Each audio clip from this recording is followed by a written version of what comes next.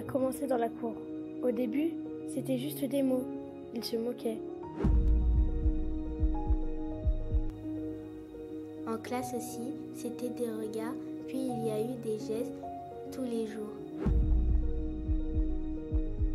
Parfois j'en pleurais, mais jamais devant les autres.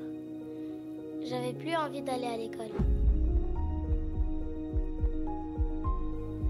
Ils m'ont dit de me taire. Ne dis rien à personne, sinon tu vas le regretter. J'étais bloqué.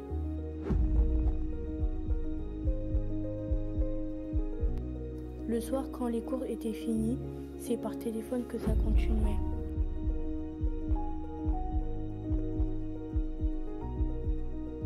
Dans le silence de ma chambre, je pleurais. Je voulais que ça s'arrête. Je voulais que tout s'arrête.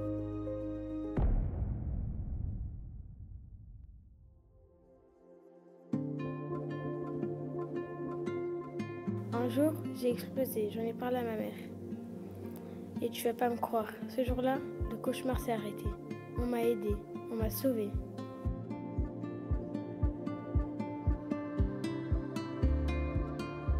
Le harcèlement, pour l'arrêter, il faut en parler. Vous n'êtes pas seul. On est tous ensemble. Tu dois en parler autour de toi. Si tu as besoin d'aide, appelle le 3020.